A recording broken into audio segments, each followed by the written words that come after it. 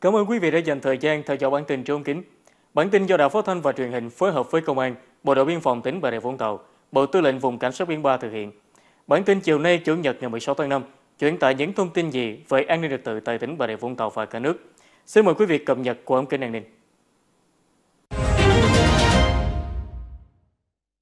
Thưa quý vị, Bộ đội Biên phòng Bà Rịa Vũng Tàu qua hai đợt tuần tra bảo đảm an ninh an toàn đường ống dẫn khí dưới biển và tuyên truyền về bầu cử đại biểu Quốc hội, đại biểu Hội đồng Nhân dân các cấp, tuyên truyền phòng dịch COVID-19 cho người dân, đã phát hiện 13 vụ với 23 phương tiện đánh bắt hải sản trong phạm vi hành lang an toàn đường ống dẫn khí. Biên phòng tỉnh Bà Rịa Vũng Tàu phối hợp với công ty đường ống khí Nam Côn Sơn tuần tra dọc theo tuyến ống dẫn khí các mỏ, Hải Thạch, Mộc Tinh đã phát hiện 7 vụ việc với 13 phương tiện đánh bắt trong khu vực hành lang an toàn tuyến ống. Các lực lượng chức năng đã lập biên bản 6 vụ trên 11 phương tiện vi phạm, nhắc nhở một vụ trên 2 phương tiện.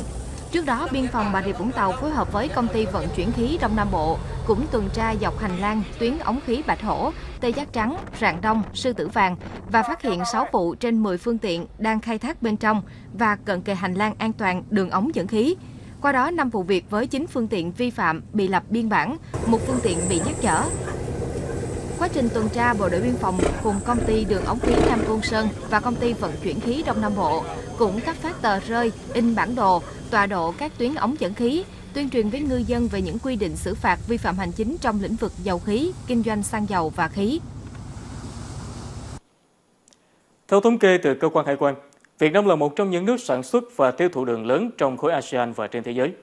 Tuy nhiên thì Việt Nam cũng chịu nhiều áp lực với tình trạng buôn lậu đường.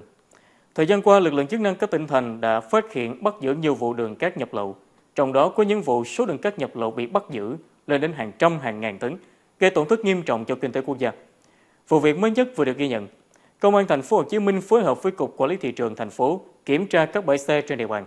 Qua đó phát hiện gần 150 tấn đường không rõ nguồn gốc.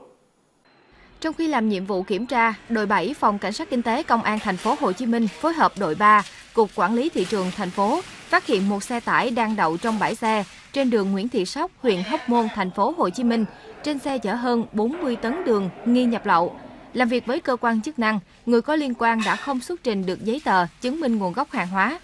Đoàn liên ngành kiểm tra xe container ở đường số 48 và một xe tải tại bãi xe 39, quốc lộ 1, quận Bình Tân, thành phố Hồ Chí Minh cũng phát hiện trên xe có 100 tấn đường không có nguồn gốc. Tài xế các xe hàng đều khai nhận chở hàng từ Bình Dương, Đồng Nai về tập kết ở các bãi xe thành phố Hồ Chí Minh sẽ có người đến nhận. Vụ việc đang được công an thành phố Hồ Chí Minh điều tra làm rõ. Có thể thấy các tay đầu nậu rất liều lĩnh, bất chấp pháp luật buôn lậu đường, thuốc lá, rượu hay là mỹ phẩm là những mặt hàng mang lại lợi nhuận khủng. Trong lúc tuần tra thì lực lượng chức năng tỉnh An Giang đã phát hiện và bắt giữ một đối tượng nằm trong một đường dây buôn lậu thuốc lá xuyên biên giới. Tổ công tác của đội đặc nhiệm phòng phòng chống ma túy và tội phạm Bộ đội biên phòng An Giang phối hợp với đồn biên phòng Vĩnh Ngương tuần tra trên địa bàn xã Vĩnh Tế, thành phố Châu Đốc đã phát hiện một nhóm đối tượng đang mang vác các bao hàng có biểu hiện nghi vấn. Khi bị lực lượng chức năng phát hiện, các đối tượng bỏ lại hàng hóa, lợi dụng đêm tối chạy về bên kia biên giới. Tổ công tác truy bắt được một đối tượng tên là Nguyễn Hoài Thanh, trú ở xã Vĩnh Tế, thành phố Châu Đốc, An Giang. Tại thời điểm bị bắt giữ, đối tượng Nguyễn Hoài Thanh đang mang 500 gói thuốc lá hero. Đối tượng khai nhận vận chuyển thuê từ biên giới về bờ kênh Vĩnh Tế để lấy tiền công 150.000 đồng.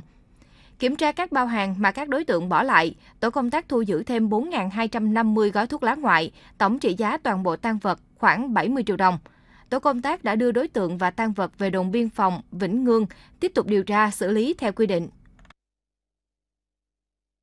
Không chỉ tội phạm buôn lậu mà tội phạm ma túy cũng có dấu hiệu liều lĩnh manh động hơn thời gian gần đây. Các đối tượng tội phạm này trang bị cả vũ khí, sẵn sàng chống trả lực lượng chức năng. Chỉ trong hai ngày 14 và 15 tháng 5, lực lượng chức năng tỉnh Sơn La liên tiếp phát hiện bắt giữ các đối tượng vận chuyển và tàn trữ lượng lớn ma túy, cùng với 5 khẩu súng tự chế. Tại bản khá xã Mường Lạng, huyện Sốp Cộp, tỉnh Sơn La, Tổ công tác thuộc Công an huyện Sốp Cộp phối hợp với đồn biên phòng Mường Lạng, Công an xã Mường Lạng bắt quả tang một đối tượng vận chuyển trái phép chất ma túy. Đối tượng bị bắt tên Song A Thái, trú tại bản Nông Phụ, xã Mường Lạng, huyện Sốp Cộp, tỉnh Sơn La. Tăng vật thu giữ là 8 cục nhựa thuốc viện, có trọng lượng gần 1.150 gram. Bước đầu đối tượng khai nhận vận chuyển thuê cho một người đàn ông không biết rõ danh tính và địa chỉ với số tiền 2 triệu đồng. Trước đó, tại bản Bu Hao, xã Mường Lạng, huyện Sốp Cộp, tổ công tác của công an huyện Sốp Cộp cũng đã phát hiện bắt quả tang đối tượng Sọng Cha Pó, trú tại bản Bu Hao, xã Mường Lạng, đang tàn trữ trái phép chất ma túy. Vật chứng thu giữ tại chỗ là 733 viên ma túy tổng hợp và một số tăng vật liên quan. Đối tượng Bó khai nhận mua ma túy ở vành đai biên giới về để bán. Khám xét khẩn cấp nơi ở của Sòng Cha Pó, lực lượng chức năng thu giữ thêm 79 viên ma túy tổng hợp và 5 khẩu súng tự chế. Bản tin trưa ống kính chiều nay đến đây là hết. Cảm ơn quý vị đã dành thời gian theo dõi. Để xem lại những bản tin đã phát sóng, quý vị vui lòng truy cập vào địa chỉ website brt.vn.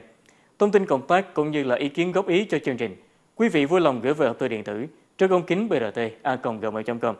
Bây giờ thì xin kính chào tạm biệt và hẹn gặp lại quý vị vào chiều mai lúc 18 giờ.